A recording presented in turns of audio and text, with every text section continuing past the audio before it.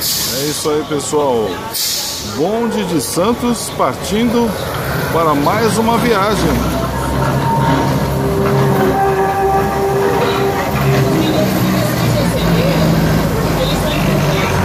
É isso aí.